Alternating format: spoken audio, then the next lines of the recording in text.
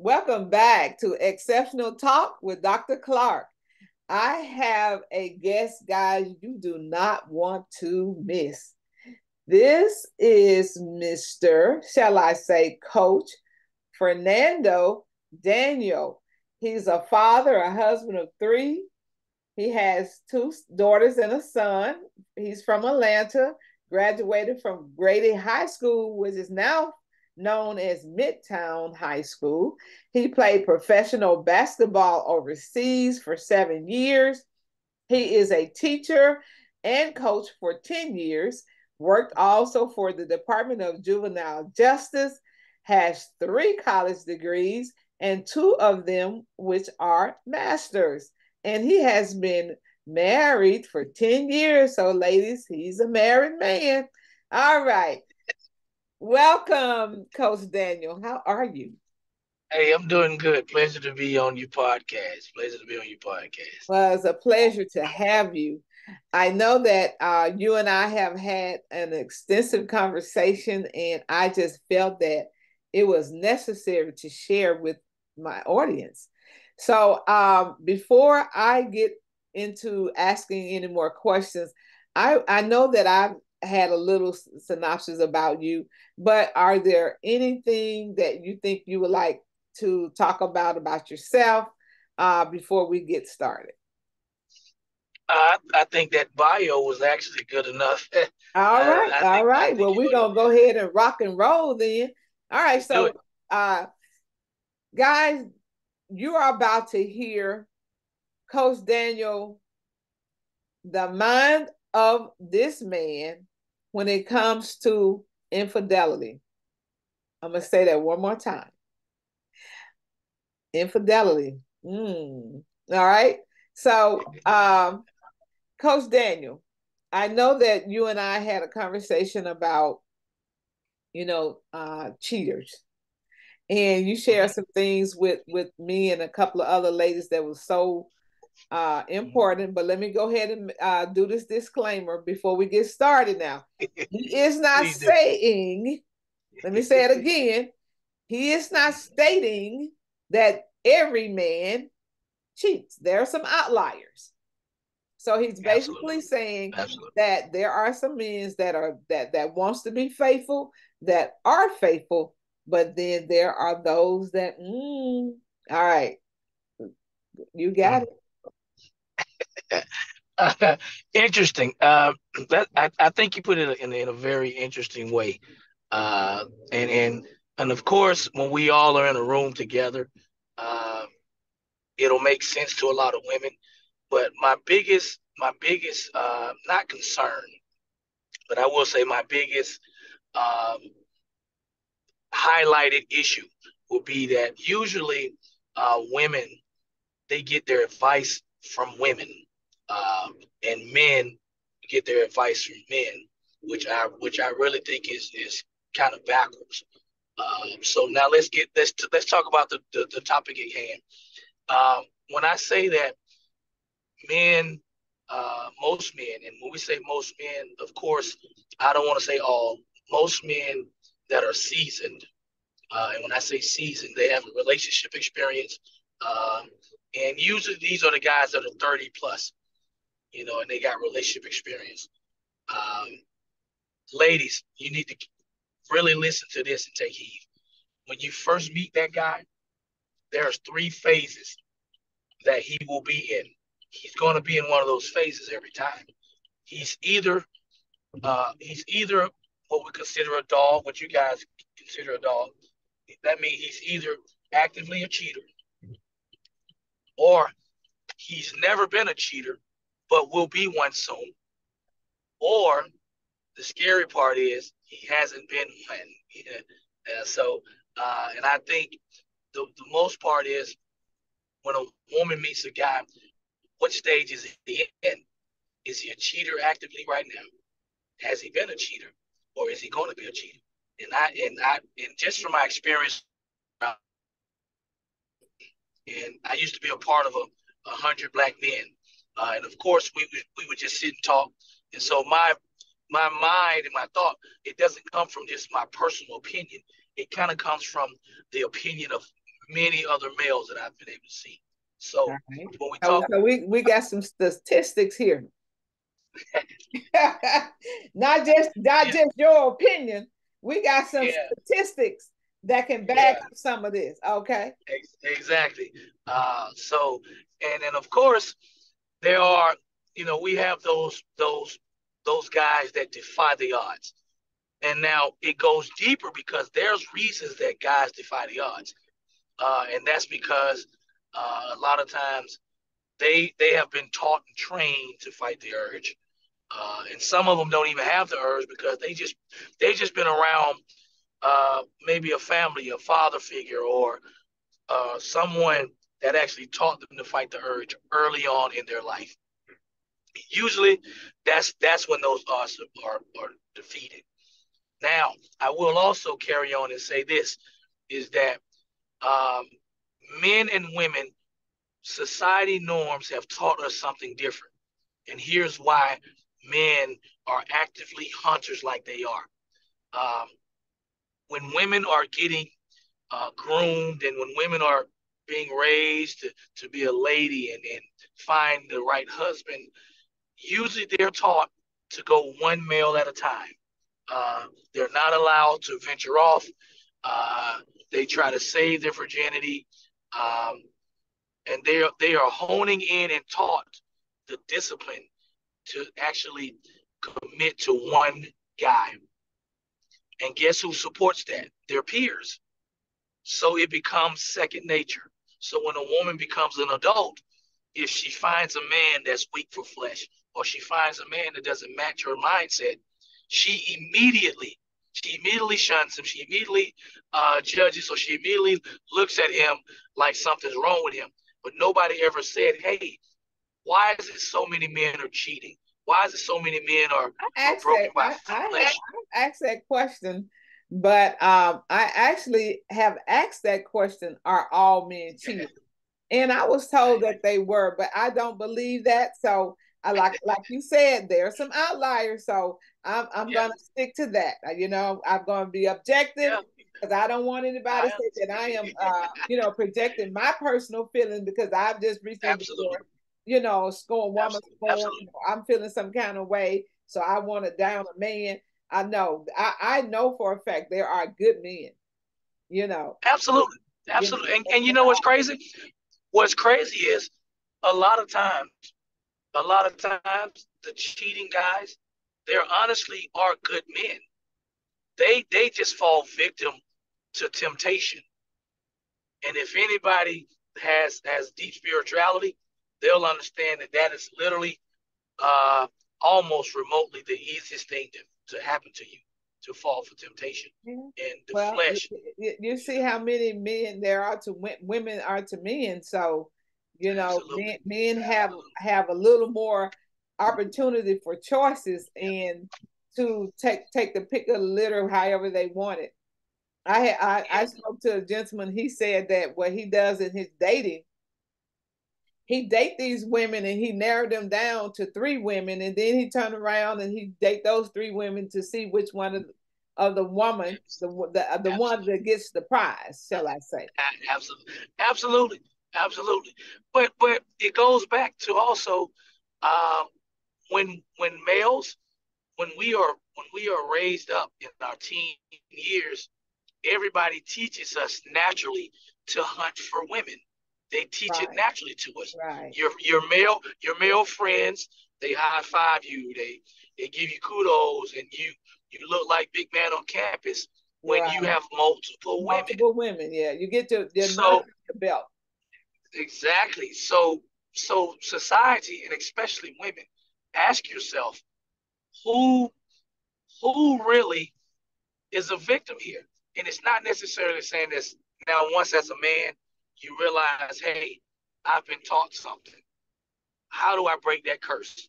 And that's the part that becomes very, very difficult. Some men just fall victim of it and they know that they have a problem. But they know, hey, because they naturally feel like hey, I'm, I'm moving natural. There shouldn't be nothing wrong with this. But of course, once you start lying, uh, once you start being deceptive, now that is a problem. Right. You know, but at right. the end of, but at the end of the day, end of the day, a woman has to go deep into the mind of that man and to figure out why is it an entire epidemic.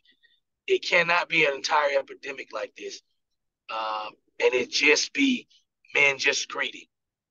It, it cannot be.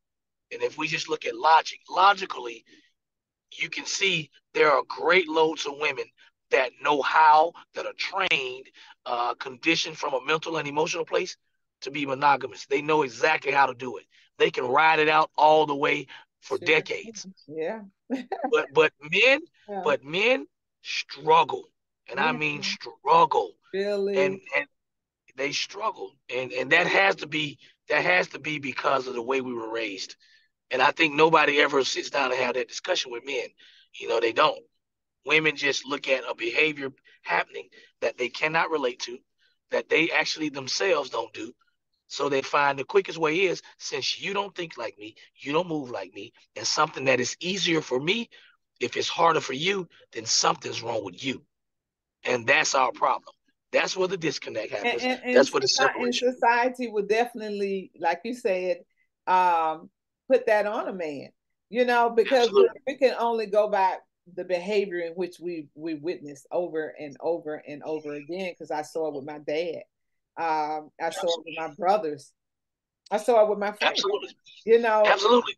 I, I, you know, so you just wonder. Okay, look, like you said, women have a tendency because if you look at the women after marriage, how long they go, even without remarrying.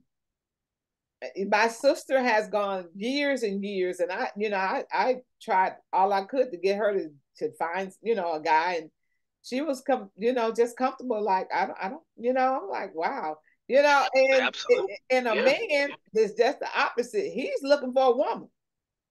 She could when when he's divorced and or his wife you know, passes on, he, he's ready.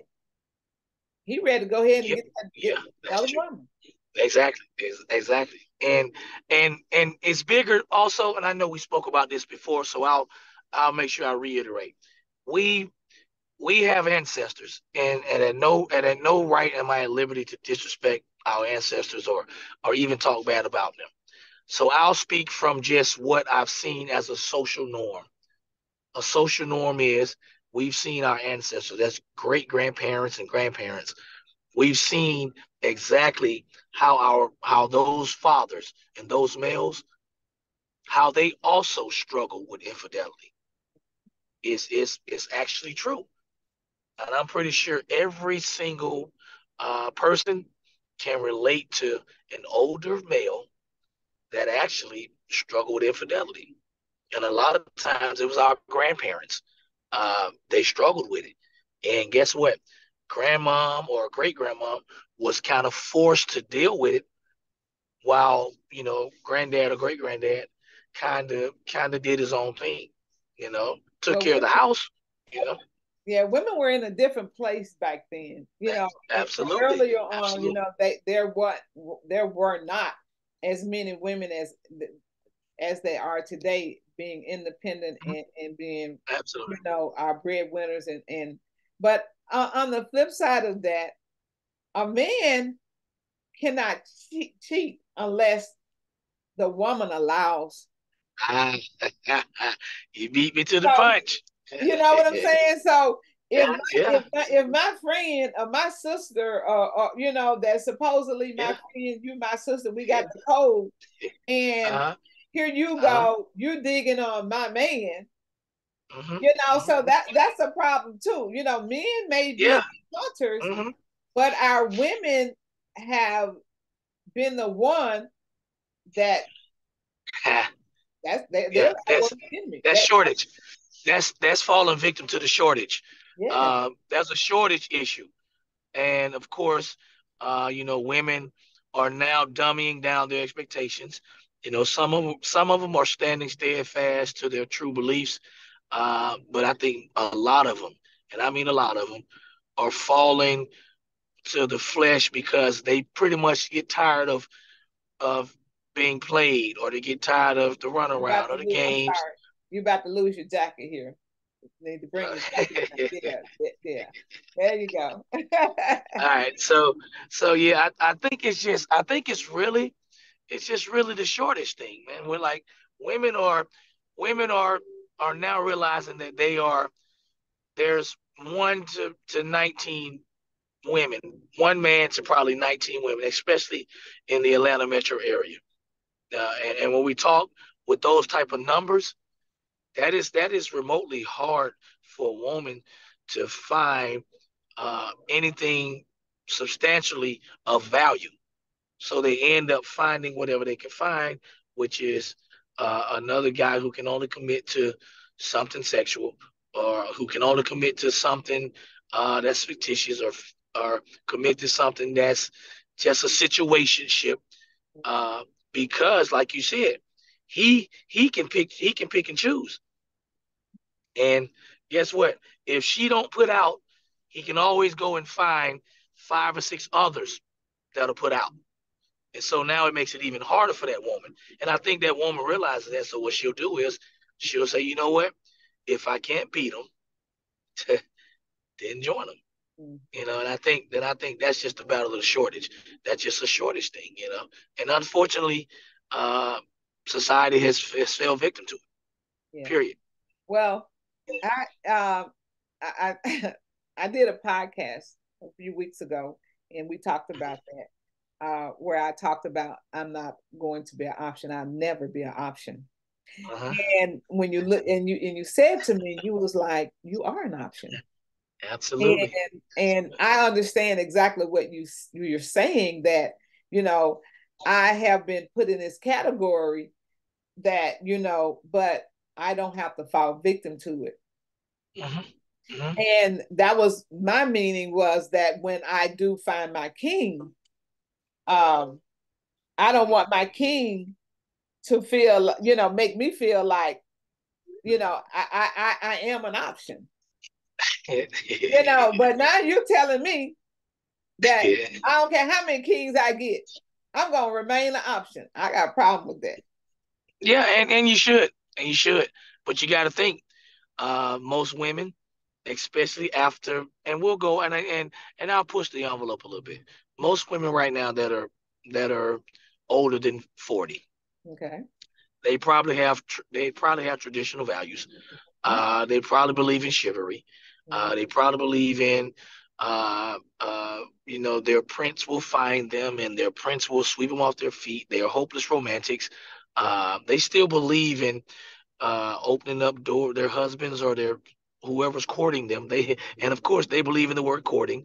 Uh, if someone opened up the door for them, if I want, if he wants me to come through the door first, give me give me his coat uh, when it's cold. Mm-hmm. I'm pretty sure that era is if it's not removed completely, but it is fading extremely fast. Um, and I think that now, uh, when I say that you you are an option, it it it really is because there are there are so many women that will go against the traditional values. Absolutely. So yeah. so even so even when so even when a guy uh, is prepared to to be your king and he could be the king that you want. There's another woman somewhere. Lurking. Sometimes, yeah, sometimes, yeah. And like you said, it's the friend.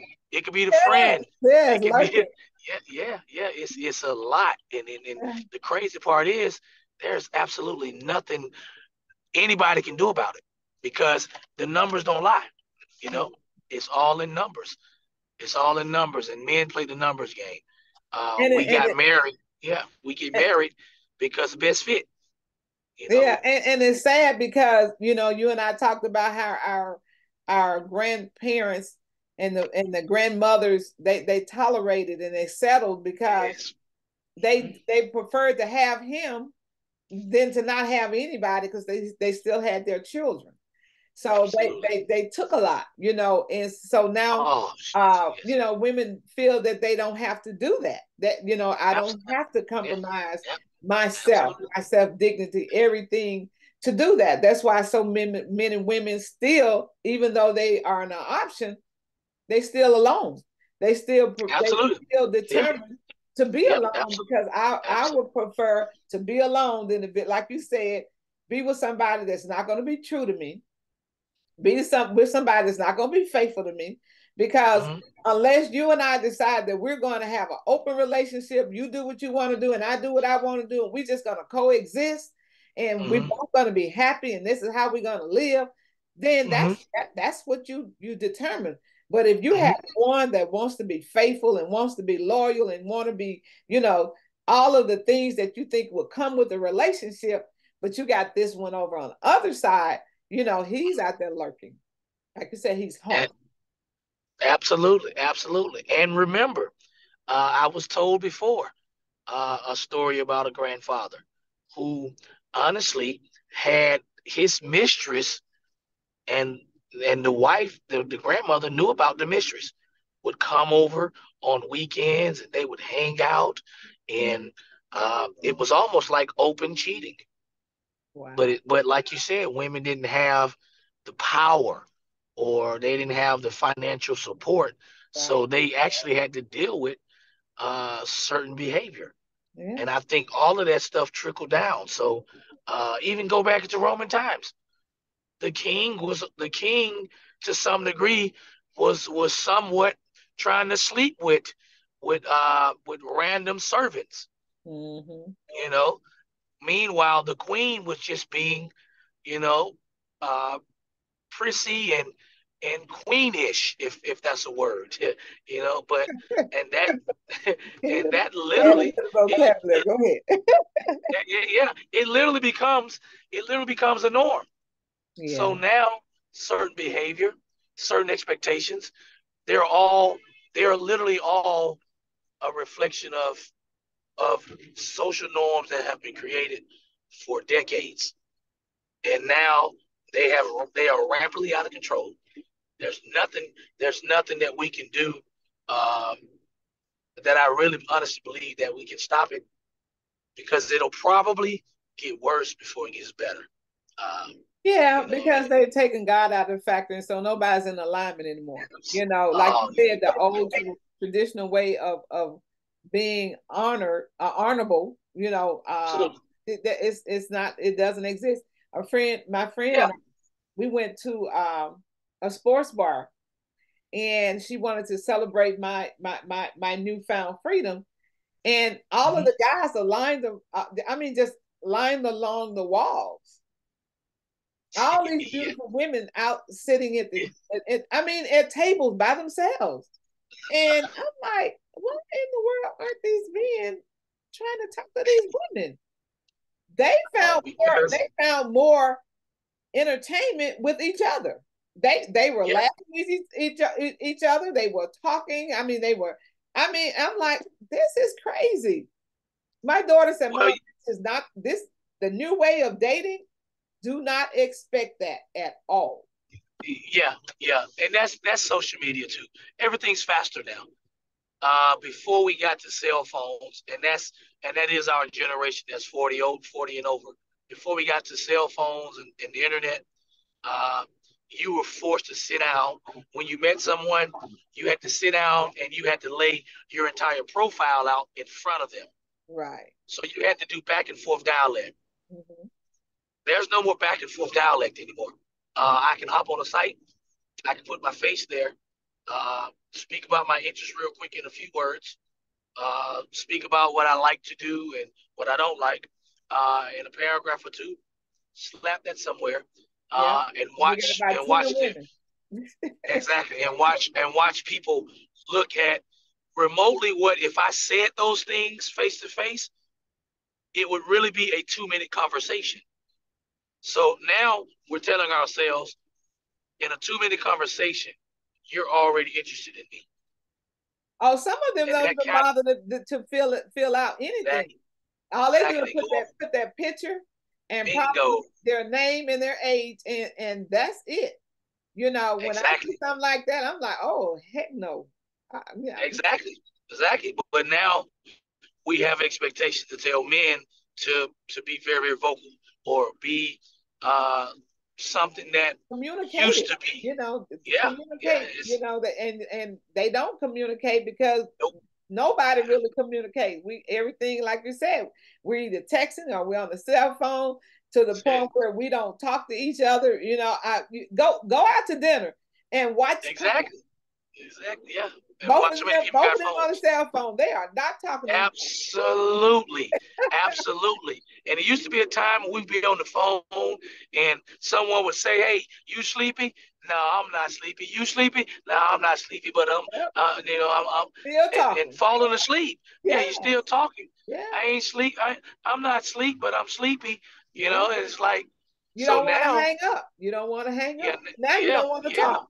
You don't want exactly. Talk. Exactly. What are I, we talking I, I just want what I want. Give me what I want. Let's go do this and and, and go yep. our separate ways. On speed. Yeah. Yeah. Life. So life now is just fast. Fast. So now now we're forcing everybody to not think because everything needs to be fast. Dating needs to be fast. Um, courting needs to be fast. So I'm not gonna have any patience. Like, why am I patient? Because patience only creates wasted time. Wasted time only creates me losing opportunities. Right. And that's how men are thinking. They're not going to waste that kind of time because they know they don't have to. Absolutely. Now, if yeah, now if women started creating these boundaries, creating these these norms, then of course men follow. You know, because we've always and, done and, things. And, and you're right. That's why I said if the, if if our our women stop sleeping with married men and they stop letting yes. these knowing these men in relationships and if you stop that that that we could contain some of it if i know that, oh, that, that this is sally's husband i'm not gonna sleep with sally's husband but it's a it's exactly. a matter of being being respectful and the men and vice versa if you know that i'm your wife why are you trying to talk to me so that, that that that that's the thing. We don't have any respect for each other and we don't care about each other. We don't care that we're ruining a family. It's not you just sleeping with me. You're now you you you done broke up my whole family. So absolutely, absolutely. Yeah, yeah, yeah. It's it's it's deeper than than any of us you know, and I think the scary part is uh, we're afraid to address it. So we, we name it, we'll shame each other, you know, we'll run from relationships, uh, you know, we'll we'll date same sex, you know, we find alternate routes yeah. to cope then, with then to, deal to with. cope with what yep, then we'll then to cope with what we're what we're really faced with. You know, and of course, black men, of course, are already targets. Uh, so it makes it a lot easier. It makes it a lot easier to blame to just blame the black man for for his actions when when uh, when we already know the lineage of where we came from and the lineage of what we was taught. We are victims of what we were taught. Yeah. We're not victims of being cruel and rude and disrespectful to women. Uh, not saying that some of us aren't, because a lot of us are.